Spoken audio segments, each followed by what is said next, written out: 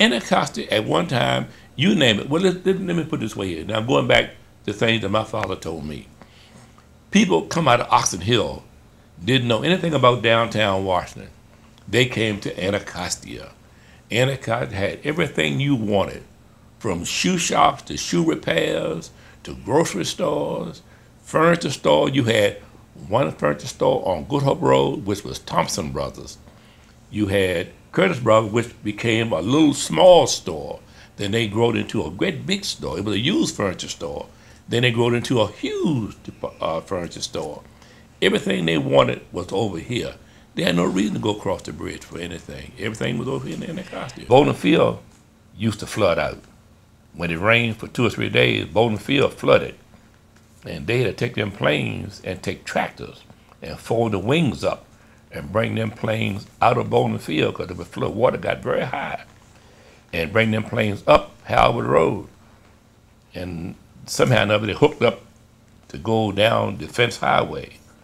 Defense Highway is what they call now Suitland Parkway. That was the and the only thing went on that was government vehicles because they were building Andrews at that time.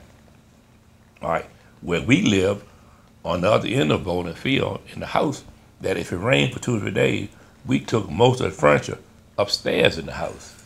Amazing. And we took our big wagon and went to my uncle's house, which was my mother's, well, I called uncle. We called him Uncle Frank, which lived on Douglas Road, across from now Douglas Junior High School, right across street from there, where he lived in big red house.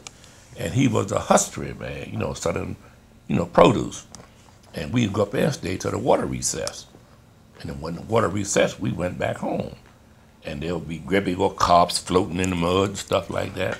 And we went out there and gathered them up, you know, get a couple of them up. Anything that didn't go back in the water, we would get it. And sometimes if the water didn't come all the way up in the house, my brother and I made us a big box that we'd push up down in the water.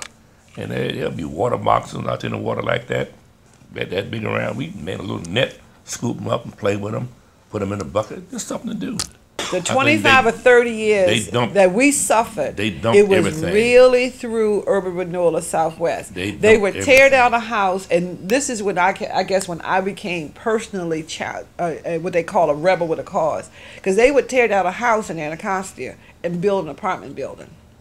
They would, they would. Ta- I mean, people started moving in at such a rate that they had to declare a moratorium on on multifamily development in Anacostia because there were so many people coming in so fast.